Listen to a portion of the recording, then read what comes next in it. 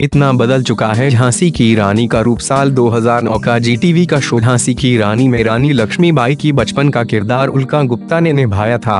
उल्का ने इस किरदार के लिए बहुत से अवार्ड, बटोरे और दर्शकों ने उनकी एक्टिंग की बहुत तारीफ़ की थी। उल्का ने सीरियल के लिए काफ़ी मेहनत की थी। उन्होंने दो महीने की तलवारबाजी और घुड़सवारी की भी प्रैक्टिस की थी।